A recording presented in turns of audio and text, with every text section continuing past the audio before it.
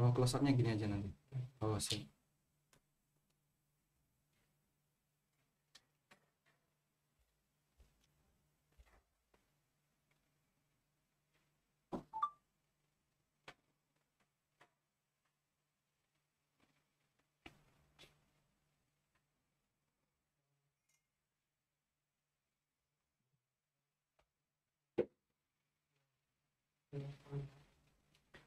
السلام عليكم ورحمة الله وبركاته. الحمد لله رب العالمين والصلاة والسلام على أشرف المرسلين نبينا ومولانا محمد وعلى آله وصحبه أجمعين. وأشهد أن لا إله إلا الله وحده لا شريك له وأشهد أن محمدا عبده ورسوله صلوات ربي وسلام عليه وعلى آله وأصحابه ومن سار على نهجه واستنى بسنته إلى يوم الدين. Alhamdulillah, puji syukur kita haturkan kehadirat Allah Subhanahu wa taala. Di kesempatan sore hari ini kembali kita uh, kedatangan tamu yang mulia. Beliau adalah Asy Profesor Dr. Asim Al-Qaryuti hafizahullahu taala wa ra'ah. Dan insya Allah di kesempatan kali ini beliau akan menyampaikan sebuah ceramah dengan tema berbahagialah orang yang asing yang merupakan terjemah dari atau syarah dari sabda Nabi Shallallahu Alaihi Wasallam tuba lil ghuraba berbahagialah bagi orang-orang yang asing. Dan insya Allah kajian kita di kesempatan kali ini akan berakhir sampai jam 5.30 insya Allah Ta'ala.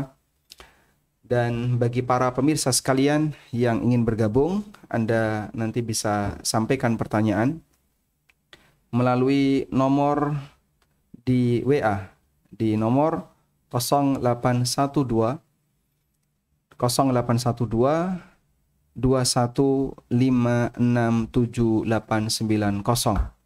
Kami ulang, Anda bisa mengirimkan pertanyaan melalui WA di nomor 081 221 567890. Baik, tidak berpanjang lebar, kita akan sapa beliau Syekh Dr. Asim Hafizahullah Ta'ala. Assalamualaikum ya Doktor. Waalaikumsalam warahmatullahi wabarakatuh. حياك الله يا شيخ الله يحييك؟ بخير الله يحفظك ويبارك فيك. أهلا وسهلا مرحبا. وبكم مرحبا طيب شيخ الموضوع في هذا المجال إن شاء الله في باب التوبة للغرباء توبة للغرباء نعم نعم والوقت للمحاضرة مع الأسئلة إلى الساعة الخامسة والنصف. الحمد لله طيب آه الآن نفضلكم أن تؤتي بعض المحاضرة ثم نترجم إلى إندونيسيا. تفضل. شكر الله لكم. بسم الله الرحمن الرحيم. وبه أستعين وأصلي وأسلم على رسوله النبي الأمين محمد بن عبد الله خاتم الأنبياء والمرسلين. أما بعد فمرحبا بكم أيها المستمعون والمستمعات في هذا البلد الطيب إندونيسيا وكل من يسمعنا في أي مكان. السلام عليكم ورحمة الله وبركاته جميعا. Setelah beliau menyampaikan mukaddimah, beliau memberikan ucapan selamat bagi kaum muslimin para pemirsa sekalian dan terutama bagi teman-teman yang tinggal di Indonesia yang merupakan negara yang baik dan kemudian beliau menyampaikan salam kepada siapapun yang mendengarkan kajian di kesempatan kali ini. Assalamualaikum warahmatullahi wabarakatuh. Semoga Allah taala memberikan kebaikan bagi kita semuanya. Nah, حديثي في هذه الامسيه حول حديث النبي صلى الله عليه وسلم بدأ الإسلام غريبا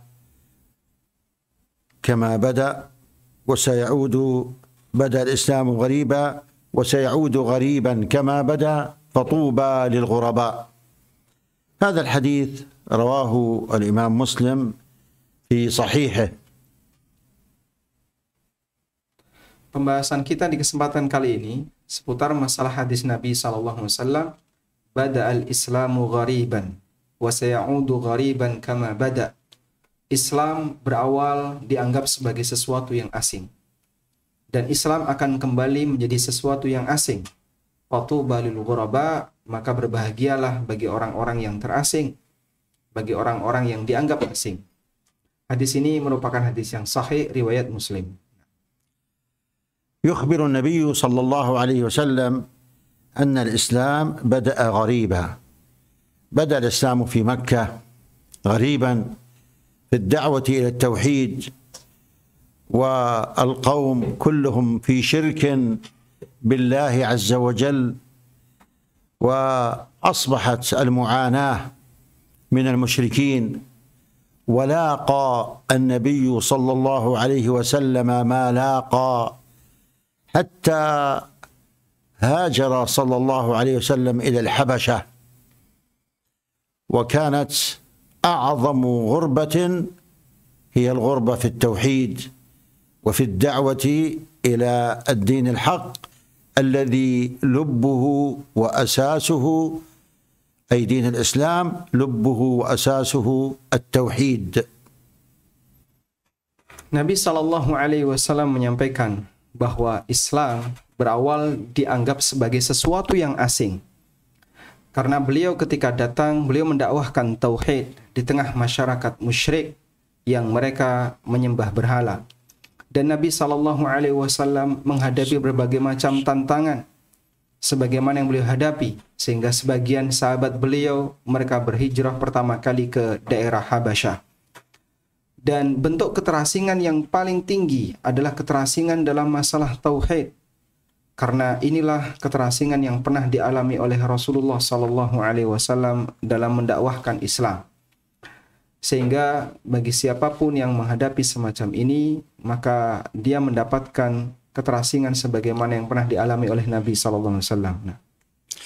وكان كفار قريش يشهدون بان الله سبحانه وتعالى خالقهم ورازقهم كما أخبر الله عز وجل في أكثر من آية في كتابه ولئن سألتهم من خلقهم ليقولن الله ولئن سألتهم من خلق السماوات والأرض ليقولن الله. فكانوا يؤمنون بربوبية الله عز وجل ولكن كانوا يكفرون في العبادة لله عز وجل على وجهها ويلجؤون إلى الأصنام والأوثان ويطلبون منها العون وجلب النفع ودفع الضر. ومع شركهم وكفرهم عند الشدائد يعلمون أن هذه لا تنفعهم ولا تقربهم. وما الذي كان يجري عند الشدائد؟ كما أخبر الله عز وجل فإذا ركبوا في الفلك دعوا الله مخلصين له الدين لأنهم يعلمون عندئذ لا منجي في ذلك الوقت من الكرب إلا الله سبحانه وتعالى. النبي عليه الصلاة والسلام لما دعا إلى هذه الدعوة العظيمة الدعوة إلى توحيد الله عز وجل كانت غريبة في البداية إذ الشرك له هيمنة كبيرة والوثنية فبدا الاسلام عندئذ بهذا غريبا اي شيء كانه جديد لم يعهد بينهم بدا الاسلام غريبا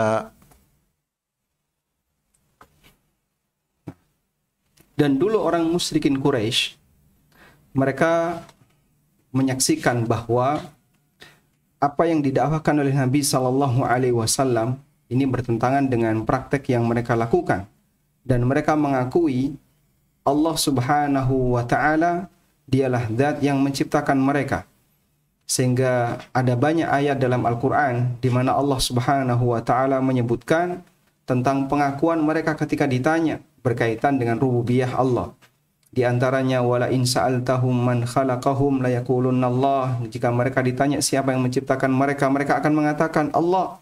Wala in sa'altahum man khalaqas samawati wal ard. Jika mereka ditanya siapa yang menciptakan langit dan bumi, mereka akan mengatakan la Allah. Mereka akan mengatakan Allah. Sehingga mereka beriman terhadap rububiyah Allah, mengakui bahwa Allah yang menciptakan Allah yang memiliki mereka semua.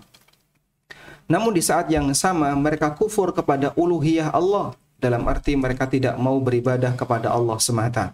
Mereka beribadah kepada berhala, mereka menggantungkan harapan kepada berhala, meminta pertolongan kepada berhala. Meskipun mereka mengakui bahwasanya berhala-berhala itu tidak bisa memberikan manfaat. Dan di antara buktinya mereka mengetahui bahwa dalam posisi genting, dalam posisi susah, mereka sadar berhala itu tidak sama sekali tidak bisa menyelamatkan. Berhala itu sama sekali tidak bisa memberikan manfaat. Sebagaimana yang Allah Subhanahu wa taala firmankan, "Fa idza raqibu fil fulki da'awullaha mukhlishina lahuddin." Ketika mereka dalam keadaan terombang-ambing ombak di atas perahu, mereka hanya beribadah kepada Allah, berdoa kepada Allah, mukhlishina lahuddin, mengikhlaskan amal hanya untuk Allah.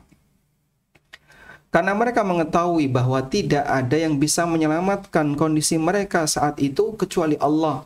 La munjialahum illallah. Tidak ada yang bisa menyelamatkan mereka kecuali Allah. Dan Nabi Shallallahu Alaihi Wasallam pada saat mendakwahkan tauhid, beliau dalam kondisi keterasingan. Karena perbuatan kesyirikan adalah praktek yang mayoritas terjadi di masyarakat penyembahan terhadap berhala, prinsip al-wathaniyah, penyembahan terhadap paganisme, prinsip paganisme adalah praktek yang merajalela ketika itu. Sehingga tauhid saat itu adalah dianggap sebagai sesuatu yang baru, sesuatu yang asing yang disampaikan oleh Nabi sallallahu alaihi wasallam. Nah, بدأ الإسلام غريبا الغرابة في الأصل ترجع إلى القلة أو الندرة لأن ما عداها هي الكثرة والجمهرة والأغلبية ولكن الإسلام والحق لا ينظر إليه بالكثرة أو القلة بمعنى إن كان الأكثر فهو الحق وإن كان دون ذلك فهو باطل وإنما الحق ينظر إليه بدليله. فبدأ الإسلام غريبا لأنه بين هذه الوثنية التي كانت مهيمنة بدأ الإسلام غريبا. لذا كان الكفار ومن طريقة أهل الجاهلية أنهم ينظرون إلى الأكثرية. ويرونها حجة ويأتون إلى ما ورثوه من آبائهم وأجدادهم ويجعلون هذا هو الحجة ويردون به ما جاء به النبي صلى الله عليه وسلم.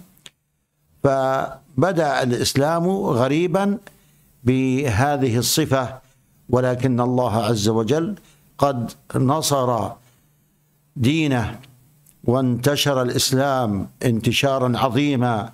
وتم فتح مكة وأقبل الناس على دين الله عز وجل ودخلوا في الإسلام أفواجا يوم الفتح العظيم كما قال الله سبحانه إذا جاء نصر الله والفتح ورأيت الناس يدخلون في دين الله أفواجا فسبح بحمد ربك واستغفر إنه كان توابا. فبدأ الإسلام غريبا ولكن ماذا كانت عاقبته بعد ذلك النصر والتمكين والفتح لهذا الدين العظيم Kata gharib asing secara makna bahasa artinya adalah sesuatu yang sedikit. Lawannya adalah al-kathrah wal jamharah, lawannya adalah banyak, mayoritas yang ada di masyarakat. Dalam Islam, kita diajarkan bahwa ukuran kebenaran bukan kembali kepada jumlah pengikutnya, baik banyak maupun sedikit. Sehingga bukan berarti bahwasanya yang banyak itu berarti kebenaran, sedangkan yang sedikit berarti kebatilan. Ini berbeda dengan prinsip masyarakat jahiliyah, di mana mereka memandang bahwa apa yang menjadi mayoritas itulah kebenaran. Sehingga ketika syirik pada waktu itu merupakan hal yang mayoritas dialami oleh masyarakat, mereka memandang bahwa praktek kesyirikan ini adalah sebuah kebenaran mengingat mayoritas yang dialami oleh masyarakat adalah kesyirikan. Di samping itu, mereka juga mengikuti prinsip yang diajarkan oleh nenek moyang. sehingga apa yang menjadi tradisi dan budaya yang diwariskan oleh nenek moyang itulah yang mereka jadikan sebagai tolak ukur kebenaran.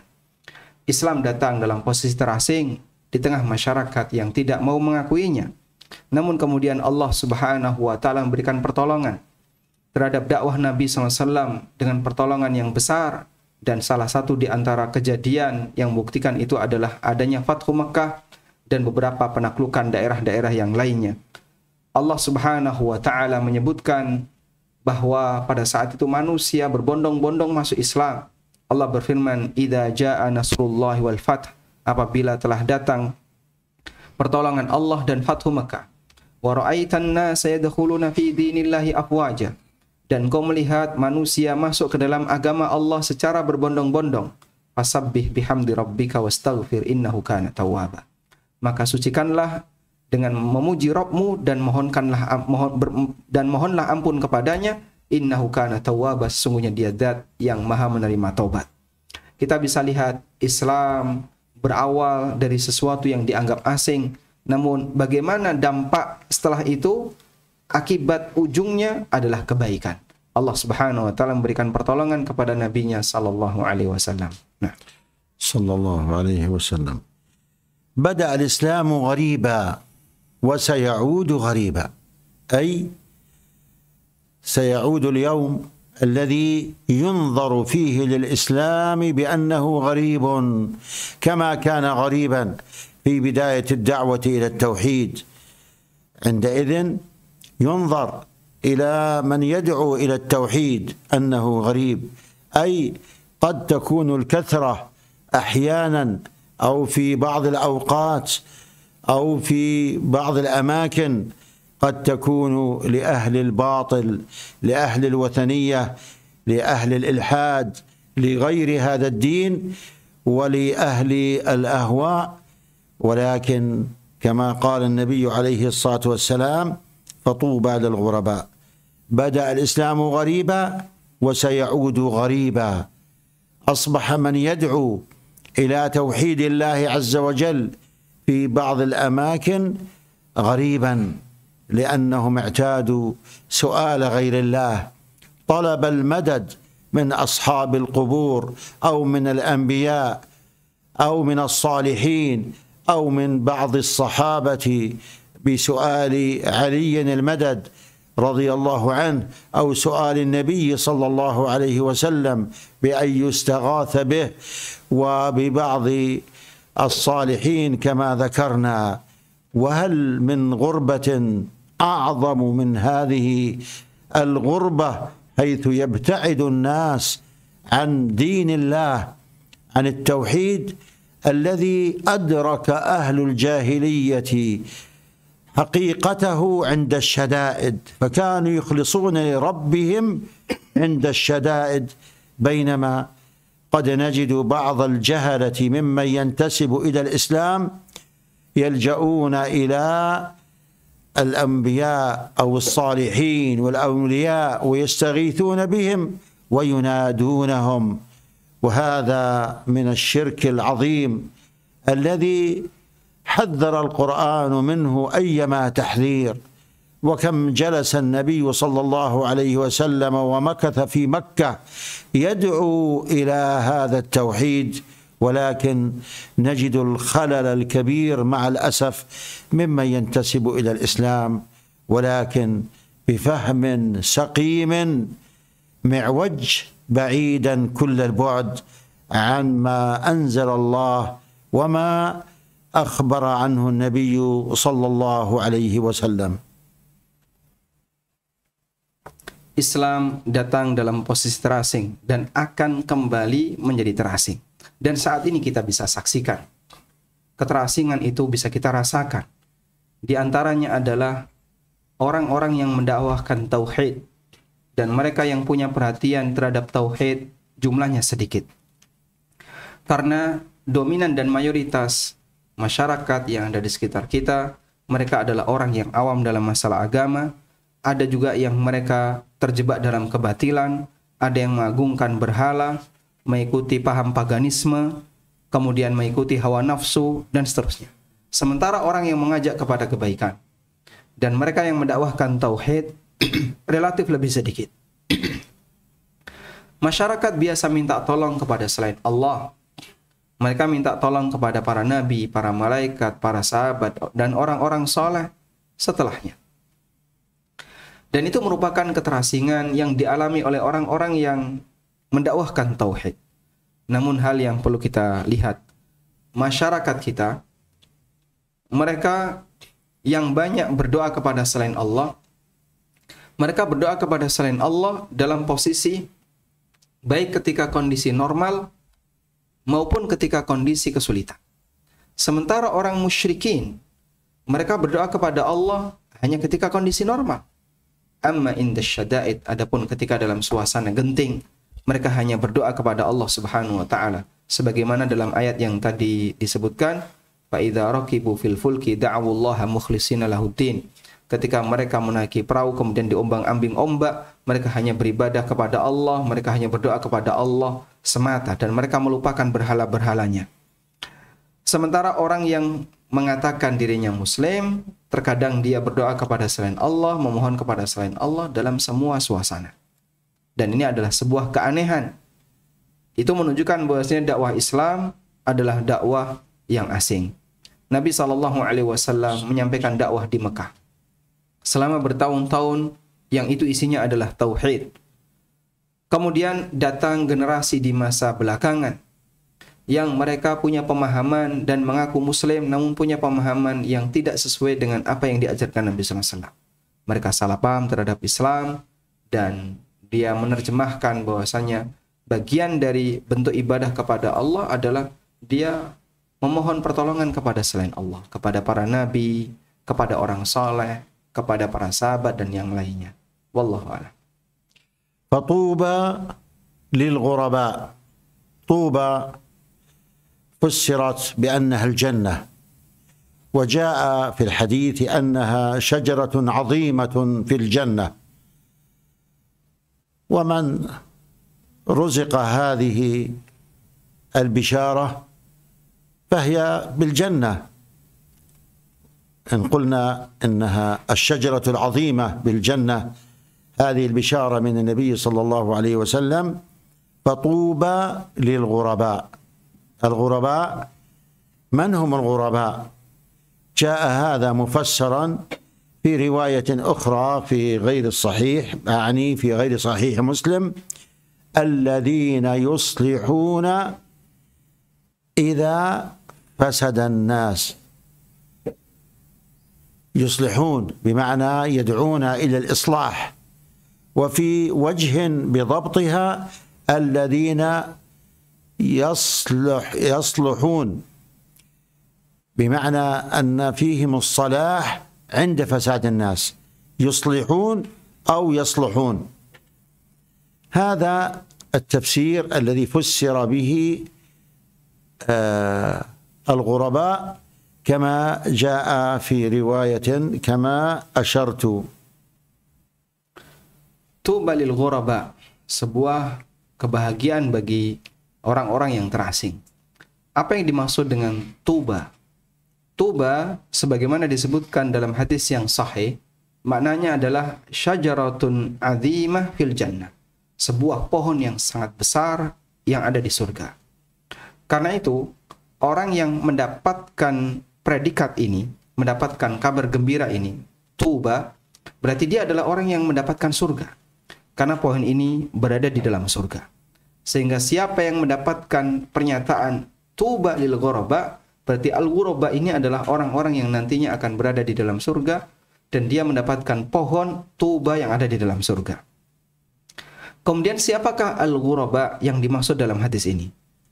Disebutkan dalam riwayat yang lain yang merupakan hadis yang sahih bahwa makna dari al-ghuraba adalah alladzina yuslihuna idza fasadan nas.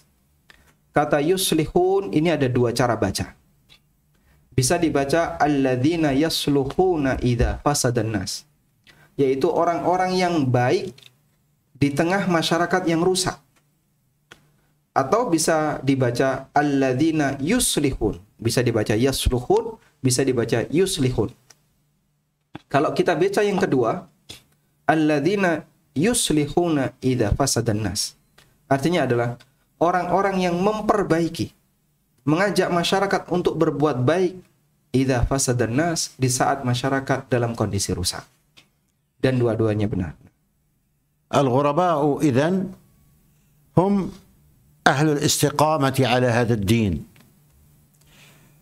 والله عز وجل قال النبي صلى الله عليه وسلم فاستقم كما أمرت ولما سأل ذلك الصحابي أبو الدرداء أو غيره سأل النبي صلى الله عليه وسلم أن يذكر له أمرا أو يشير عليه بشيء لا يسأل غيره فقال له قل آمنت بالله ثم استقم.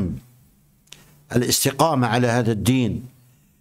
وكما أخبر النبي صلى الله عليه وسلم وبشر عندما قال إن الذين قالوا ربنا الله ثم استقاموا تتنزل عليهم الملائكة ألا تخافوا ولا تحزنوا وأبشروا بالجنة التي كنتم توعدون. إلى آخر هذه الآيات التي فيها البشائر لأهل الاستقامة الذين هم الغرباء لأنهم استقاموا على شرع الله وعلى ما أمر الله وأمر به نبيه صلى الله عليه وسلم. واجتنبوا ما نهى الله عز وجل عنه وما نهى عنه نبيه صلى الله عليه وسلم. ورأس الامتثال الامتثال للتوحيد الإيمان بوحدانية الله. ورأس المعاصي والذي يجب أن يجتنبه المسلم هو الشرك بالله عز وجل. Kemudian beliau sampaikan, al-ghuraba, orang-orang yang terasing adalah ahlul istiqamah, orang-orang yang selalu menjaga istiqamah. Dan Allah Subhanahu wa taala berpesan dalam Al-Qur'an, "Fastaqim kama umir."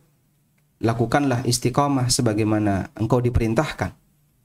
Dan ada beberapa sahabat, di antaranya Abu Darda dan sahabat yang lainnya, pernah bertanya kepada Nabi Shallallahu Alaihi Wasallam, dan sahabat ini menyampaikan kepada beliau, La as'alu ghairahu.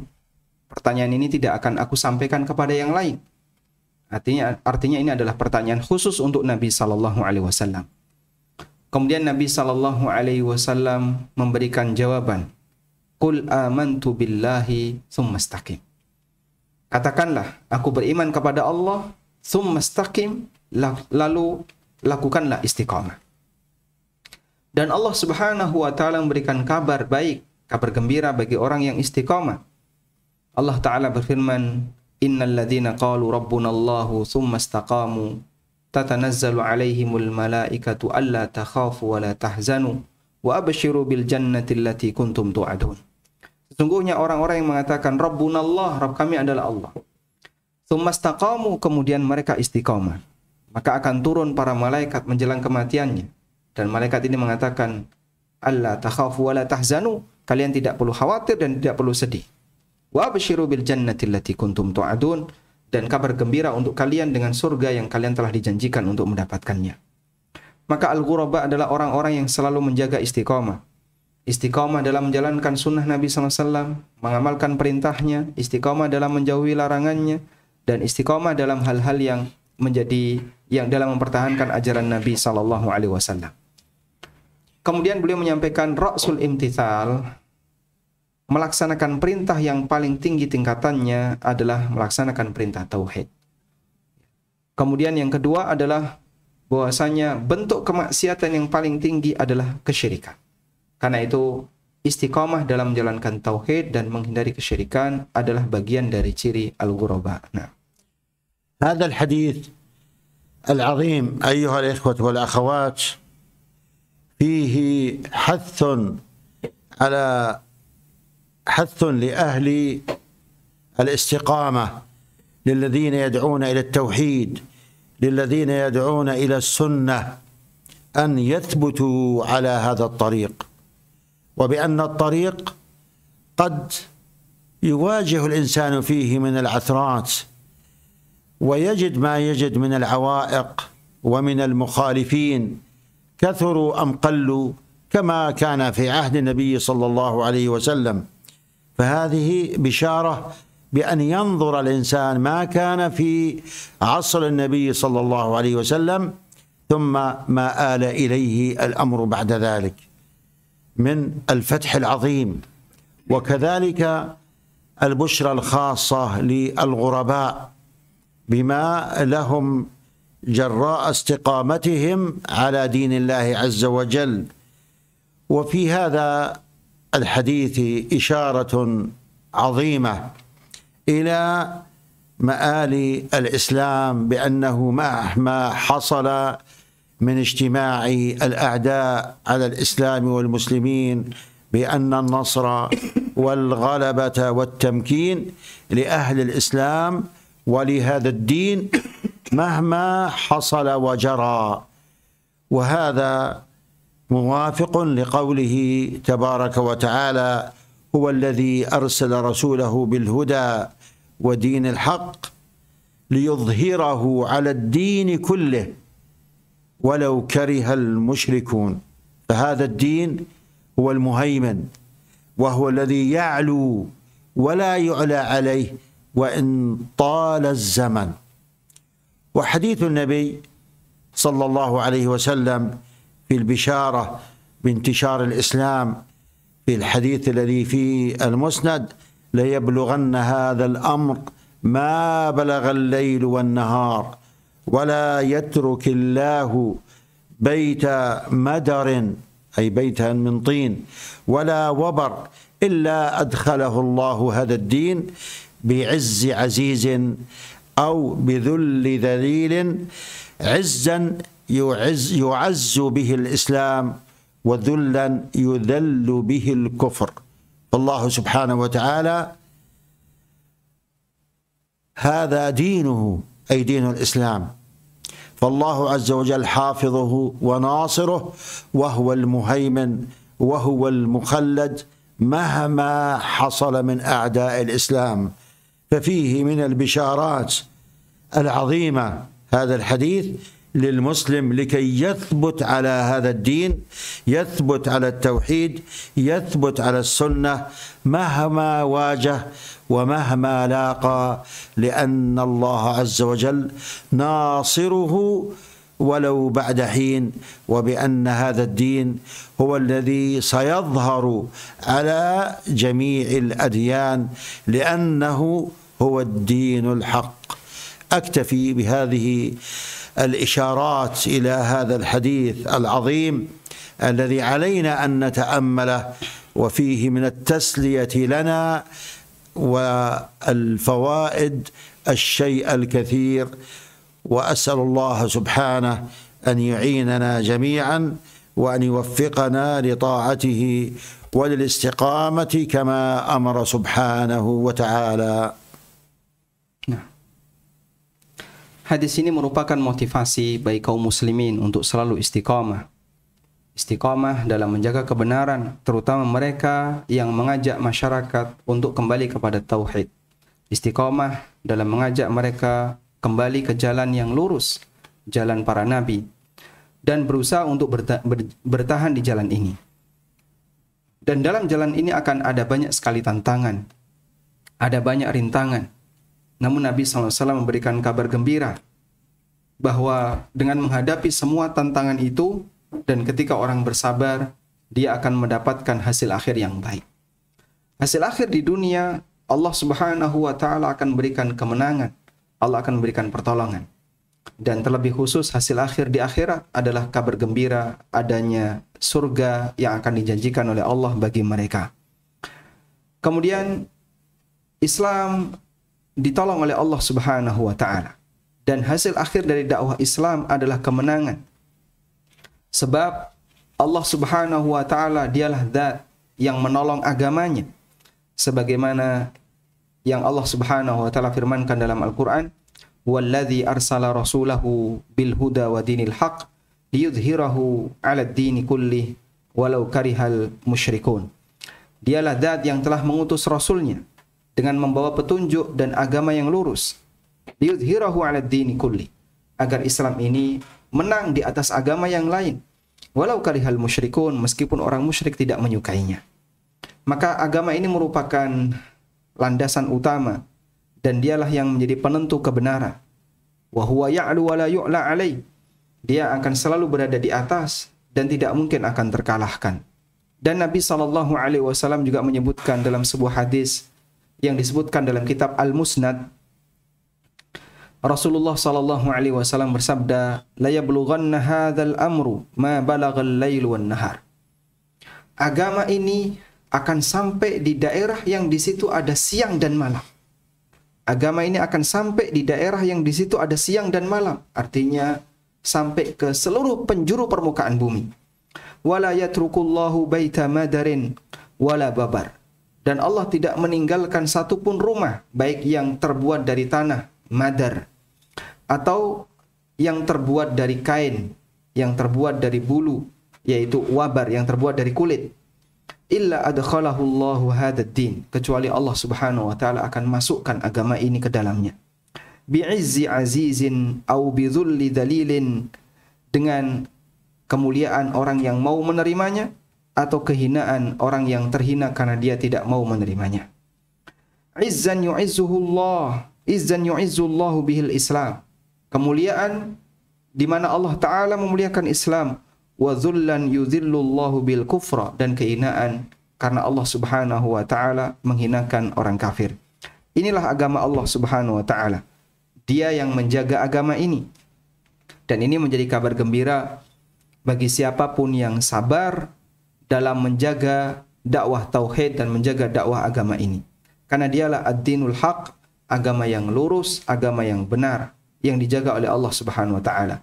Mari kita renungkan bersama dan kita akan bisa mendapatkan kabar gembira bagi mereka yang berusaha untuk istiqomah di atas jalan yang lurus Sampai di sini muhadarah yang beliau sampaikan sebagai mukaddimah dan selanjutnya beliau memberikan kesempatan bagi para uh, pemirsa sekalian untuk menyampaikan pertanyaan.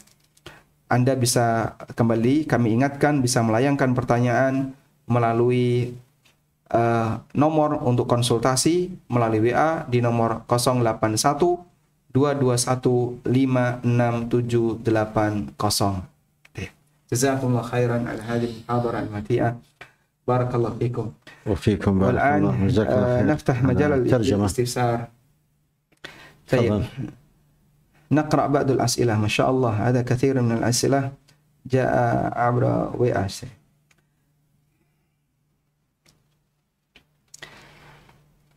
يقول السائل السؤال الأول يقول السائل هل الصحيح أن المشركين قبل بعثة النبي صلى الله عليه وسلم أنهم كانوا يعرفون الله؟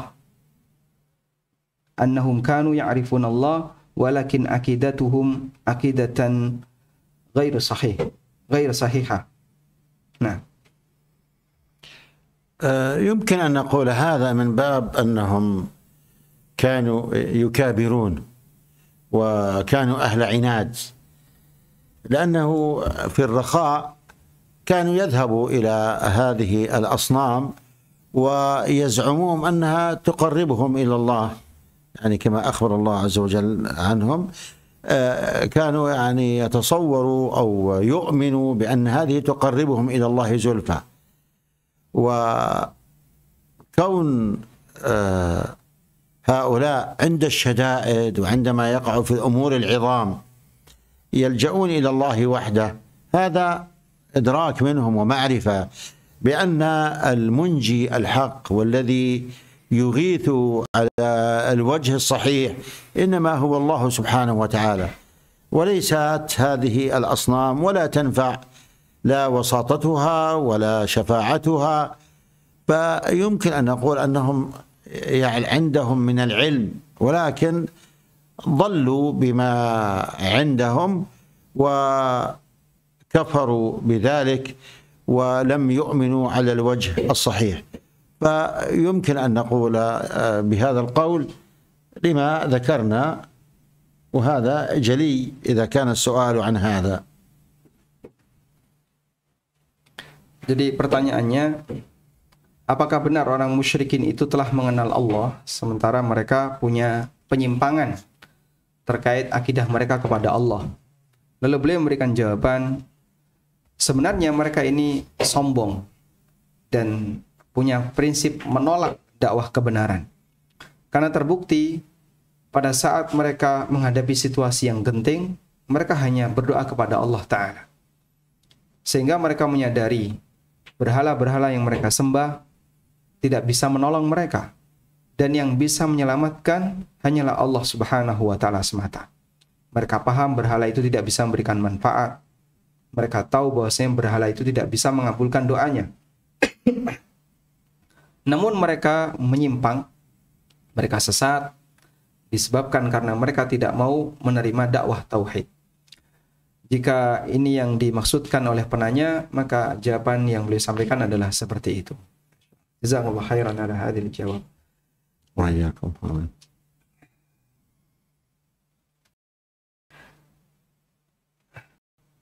بالنسبة لغربة في بلادنا الذين تمسكوا بالتوحيد يقال لهم وهابية. فما توجيهكم في هذا؟ على أي حال أهل الحق أهل التوحيد لابد أن يشار إليهم بالبنان. مهما قيل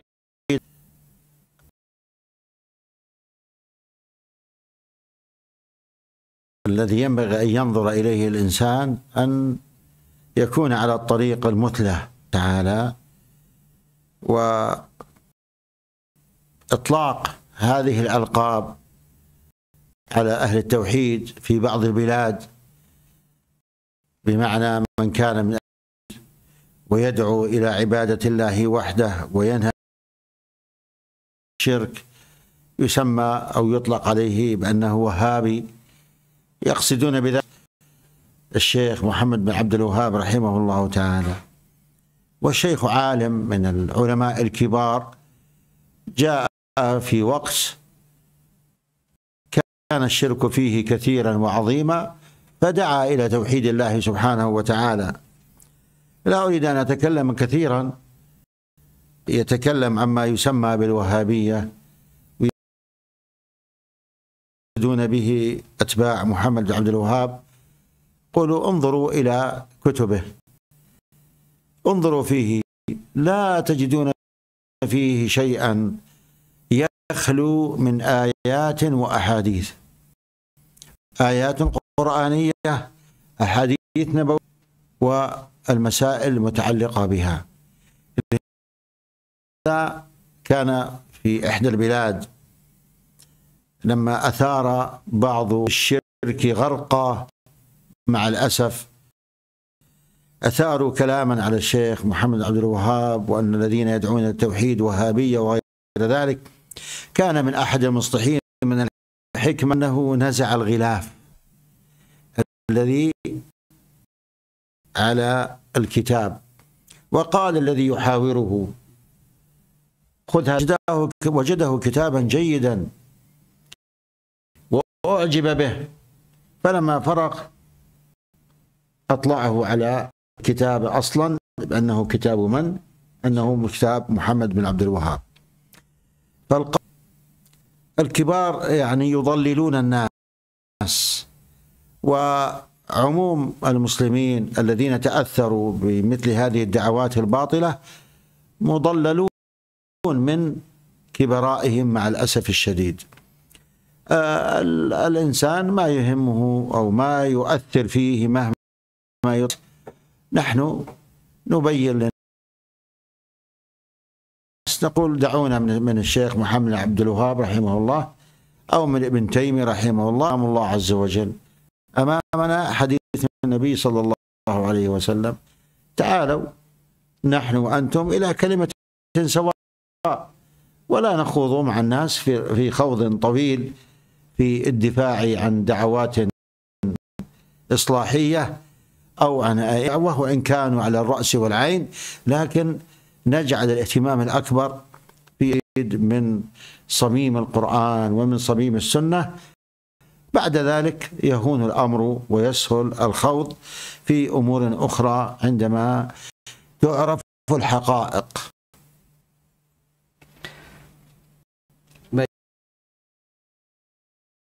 Kemudian beliau memberikan jawaban. Uh, pertanyaannya adalah di masyarakat kita orang yang apa saran yang bisa beliau sampaikan? Kemudian beliau menyampaikan bahwa ahlu tauhid adalah orang yang harus memiliki dalam arti dia harus selalu istiqomah di atas jalan yang lurus. Dan gelar ini yang ditujukan kepada ahlu tauhid dakwah yang disampaikan Syekh Muhammad bin Abdul Wahab adalah bagian dari sebuah realita dan kita perlu untuk bersabar menghadapi uh, gelar semacam ini. Lalu beliau sampaikan bahwa beliau tidak ingin berpanjang lebar dalam membahas sisi gelar.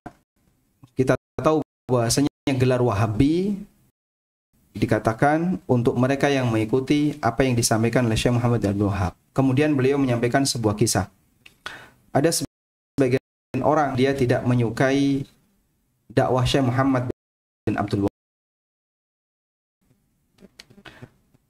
Lalu orang semacam ini bisa kita aja. Silabut Tauhid yang kitab itu penuh dengan dalil Al-Quran maupun hadis Nabi Sallallahu Alaihi Wasallam. Ada orang yang benci dengan buku Muhammad. Lalu salah satu di antara uh, ahlu tauhid ada yang memberikan buku itu, namun sampulnya dihilangkan. Beliau baca, beliau pelajari, buku itu penuh dengan dalil Al-Quran dan hadis Nabi Sallallahu Alaihi Wasallam. Akhirnya dia memuji, ini adalah kitab yang bagus.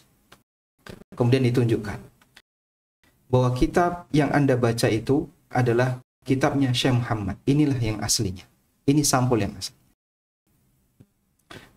Mereka memberikan celaan, mereka membenci karena mereka tidak paham dakwah yang disampaikan oleh Syekh Muhammad. Kemudian beliau juga menyayangkan adanya sebagian tokoh menghalangi masyarakat agar mereka anti dengan apa yang disampaikan dakwah yang disampaikan oleh Syekh Muhammad bin Abdul. Sehingga mereka mengatakan, kita benci Syekh Muhammad bin Abdul Wahab, membenci Ibnu Taimiyah dan seterusnya. Padahal masyarakat awalnya mereka tidak paham. Tapi dia diajak untuk itu. Karena itu kita sebagai alut tauhid, kita melakukan pendekatan, melakukan dakwah islahiyah, bagaimana bisa pendekatan kepada masyarakat. Lebih penting adalah sampaikan dakwah tauhid dalil, ketertarikan mereka adalah ketika sesuai dengan Al-Quran dan Sunnah Nabi Sallallahu Alaihi Wasallam. Nah, Sallallahu Alaihi Wasallam. Ahsanallahu ilaikum. Amin wa ilaikum.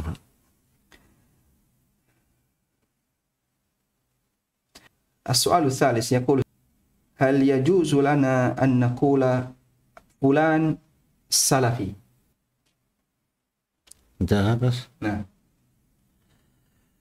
آه إذا كان القصد من ذلك يعني الإخبار يعني عن حالة فيما يتعلق بمنهجه أو معتقده وكان هنالك حاجة لا إشكال في ذلك ولا مانع.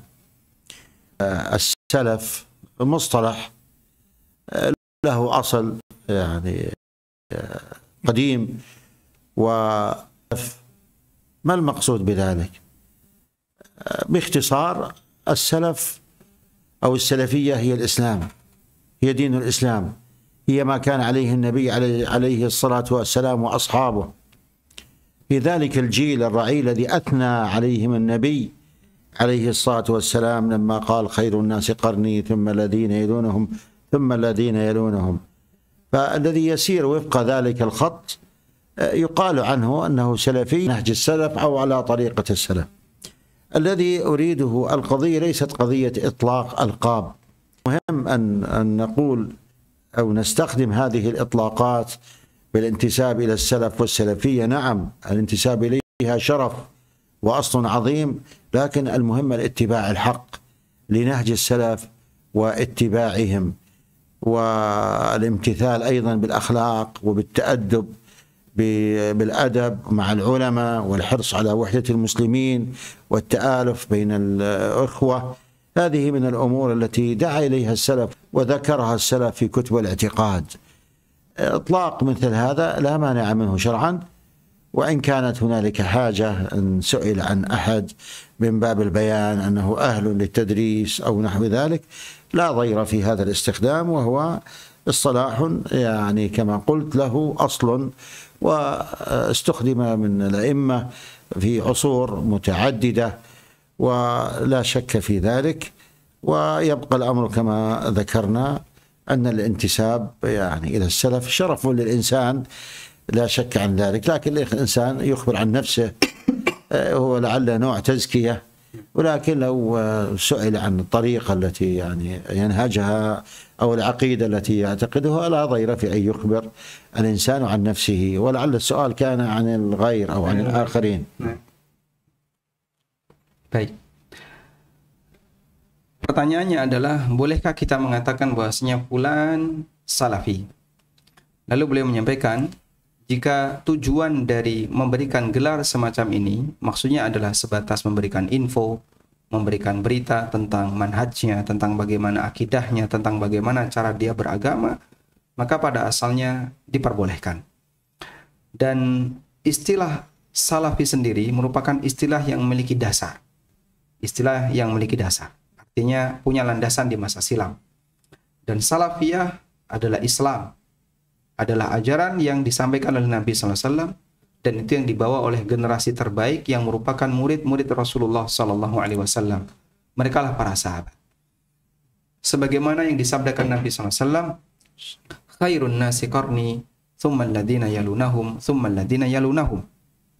Sebaik-baik manusia adalah generasiku, kemudian generasi setelahnya, kemudian generasi setelahnya. Namun di sini yang lebih penting untuk kita perhatikan bukanlah masalah gelar.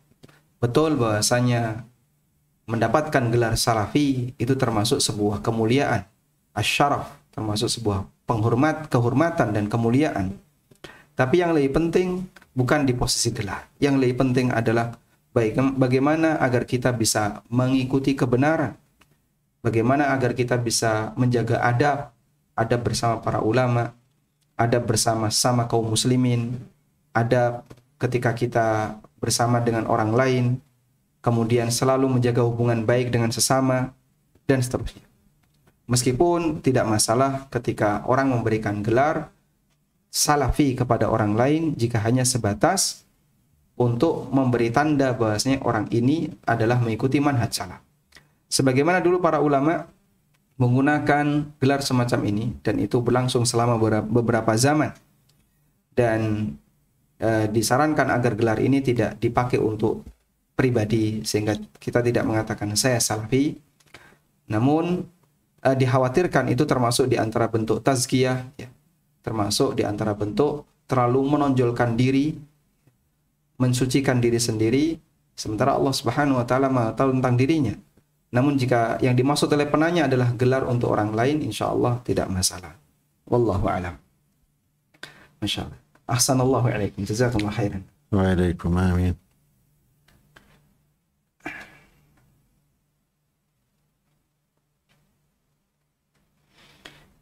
يقول السائل كيف ما هو الطريقة للاستقامة إذا كنا في بيئة كثر المعصية فيه. لا سيما في مكان العمل الذي فيه الزملاء ولا يعبؤون بدين الإسلام.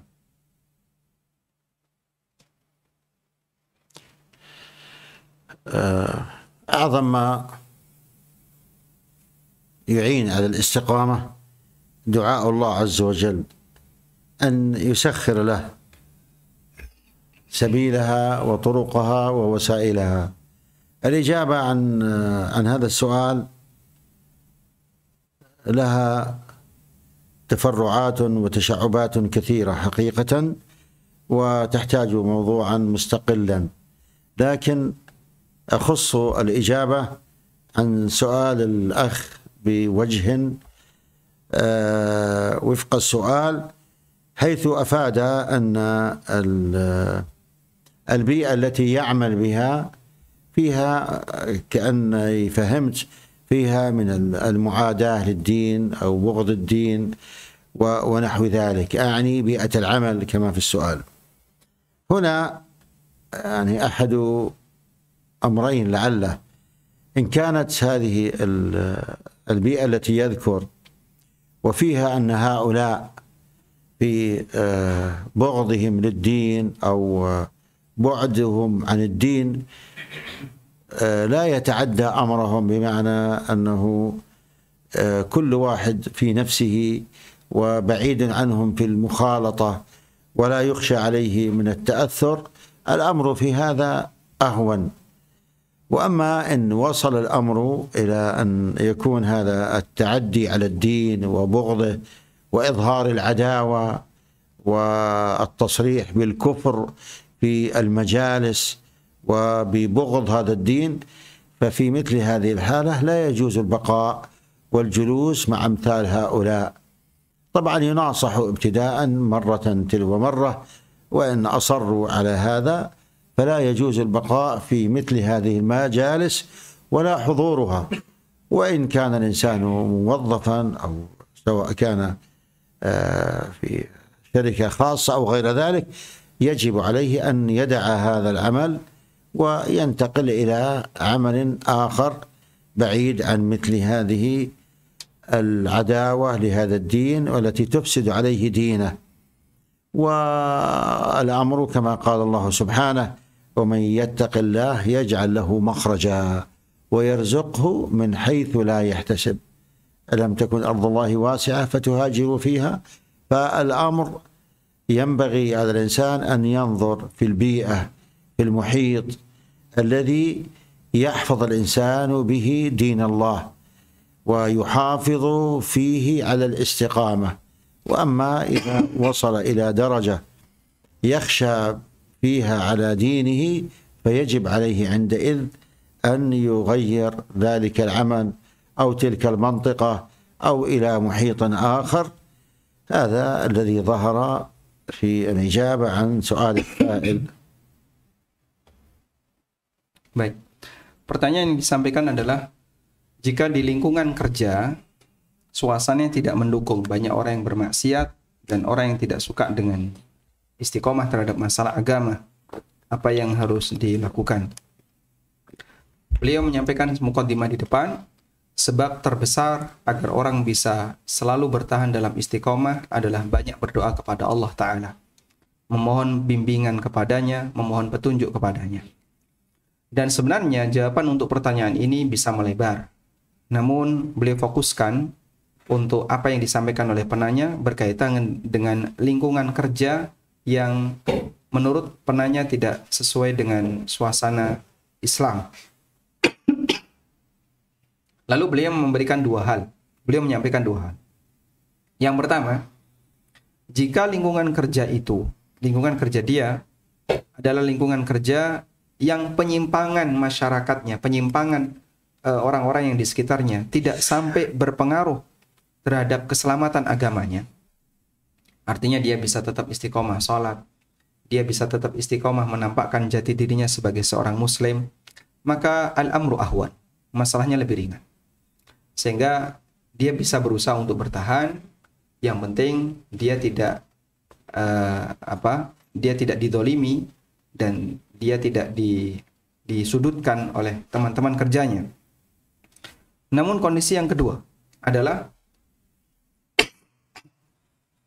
ketika lingkungan kerjanya menampakkan kebenciannya terhadap Islam, bahkan memberikan penentangan terhadap apa yang dilakukan oleh karyawan ini, sehingga dia banyak mendapatkan tekanan, maka ya, disarankan agar tidak bertahan.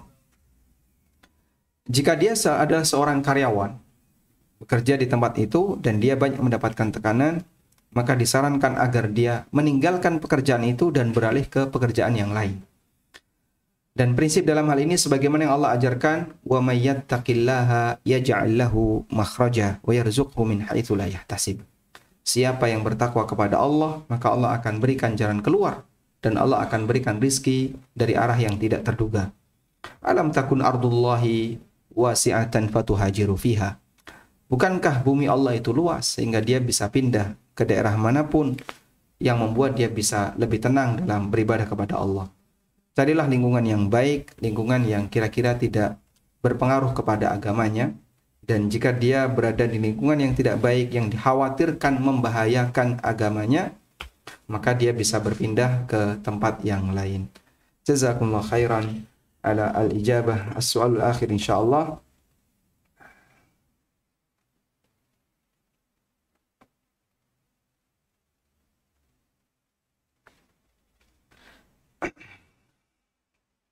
يقول السائل هل يجوز لنا أن نطلب العلم على يد شيخ الذي له عقيدة باطلة؟ المسألة ينظر فيها إلى آه هذا العلم الذي يطلب من هذا الشيخ كان علم العقيدة بالطبع لا يجوز وإن كان آه، غيره من العلوم كعلوم اللغة العربية مثلا النحو والصرف ونحو ذلك آه، علوم الشريعة يخشى آه، على الإنسان إذا كان عنده من العقيدة ما فيه شرك ووثنية يخشى عليه إن درس التفسير أن يسلك به هذا المسلك. وإن درس مواد الدين يسلك به هذا المسلك. لكن أما علوم الآلات آه، من اللغة وغيرها إن كان لا يوجد غيره فله ذلك شريطة ألا آه، يكون هذا الشيخ له من الأساليب وله من الطرق مما يؤثر به على الطالب. وأما إذا يوجد البديل فعندئذ لا يدرس أو يتلقى العلم عن هذا الشيخ. الذي فهمت يعني من السؤال أن هذا الشيخ الذي يسأل عنه عنده ما من الشرك ونحو ذلك أليس كذلك؟ نعم. الانحراف في العقيدة؟ الانحراف. عند الانحراف في العقيدة عليه على الكلام. عليه حال الانحراف درجات ها؟ أه لعل ما أشرت يعني فيه جواب لكن كما قلنا الأصل إن وجد بديلا فيتلقى عن الشيخ الذي هو في سلامة في معتقده. إن كان هنالك آه، اضطرار لبعض العلوم غير علوم العقيدة والتوحيد لأنه إن درس يتأثر. إن كان هنالك اضطرار للتلقي مع الحذر يعني من أن آه، يعني يؤثر فيه في خلال تدريسه لا مانع من ذلك عند عدم وجود غيره. هذا الذي يظهر والله تعالى أعلم وصلى الله على نبينا محمد والحمد لله رب العالمين Eh, pertanyaan yang disampaikan adalah apa hukum belajar kepada guru yang dia punya penyimpangan dalam masalah akidah. Kemudian beliau menyampaikan, yang penting untuk dilihat dalam masalah ini adalah berkaitan dengan ilmu yang dipelajari. Jika ilmu yang dipelajari adalah ilmu alat seperti ilmu bahasa, ilmu uh, nahwu, dan yang lainnya, maka insya Allah tidak masalah. Namun jika ilmu yang disampaikan adalah ilmu syariah atau ilmu tafsir atau yang lainnya dikhawatirkan nanti dia bisa terpengaruh dengan penjelasan yang disampaikan oleh guru yang memiliki adapun ilmu alat sementara seperti ilmu bahasa sementara di situ tidak ada guru yang lain tidak ada syekh yang lain yang bisa mengajarkan ilmu tersebut maka tidak jadi masalah jika dia belajar di sana apalagi ketika guru ini memiliki satu metode tertentu yang bisa memberikan uh, penekanan yang baik terhadap terhadap muridnya dalam masalah ilmu alat tersebut. Tapi jika ada yang lain, maka dia tidak boleh untuk ke sana. Kemudian beliau bertanya, apakah yang dimaksud dia punya akidah yang batil adalah dia melakukan kesyirikan? Lalu saya sampaikan, gurunya punya penyimpangan dalam masalah akidah. Mungkin dia menganut aliran ahlul kalam dan yang lainnya. Kemudian beliau menyampaikan bahwa yang namanya penyimpangan itu bertingkat. Yang namanya penyimpangan itu bertingkat dan intinya selama masih ada guru pengganti yang lebih baik daripada guru semacam ini sehingga akidahnya lurus, tidak terpengaruh dengan akidah yang menyimpang, maka dia harus belajar kepada guru ini. karena terkadang metode itu bisa memberikan pengaruh bagi para muridnya. Walhamdulillahirabbil alamin. Demikian yang disampaikan oleh beliau dan terjemahan yang kami sampaikan. Semoga apa yang kita bahas ini bermanfaat dan kita ucapkan jazakumullah khairan ala hadhihi muhadarah. الله يحفظكم آمين وإياكم جزاكم الله خير والإخوة القائمين والعاملين هل هناك كلمة خاتمة للمشاهدين؟ أختم يعني كلامي بالوصية بتقوى الله عز وجل في السر والعلن. في الحقيقة فيما أعظم ما ينبغي أن نتواصى به بالخصوص في السر والعلن لكثرة ما نبتلى به ولكثرة ما نجد في وسائل أمور منكرة عظيمة فتحتاج الإنسان فيها أن يراقب الله وأن يجاهد نفسه ويدعو لنفسه بالثبات ولأهله ولأولاده ولأولاد المسلمين. وعلينا أن نجتهد في الدعوة إلى دين الله عز وجل الدعوة إلى التوحيد والدعوة إلى السنة وتحتاج إلى صبر وقد يواجه الإنسان من الأذى من التهم ومن غير ذلك. ومهما حصل لنا يكون فليكن لما في سيرة النبي صلى الله عليه وسلم من الدروس والعبر والتأسي به وبأن السلعة غالية الجنة ليست رخيصة تحتاج إلى صبر ومصابرة ومجاهدة. علينا أن نتعاون وأسأل الله أن يوفقني وإياكم لسائر الطاعات ويجنبنا كل ما نهى عنه سبحانه وتعالى